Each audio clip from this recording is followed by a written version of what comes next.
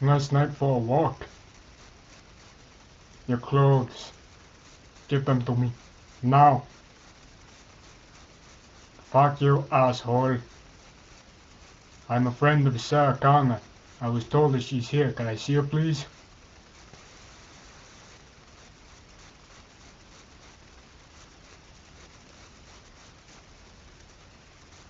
I'll be back.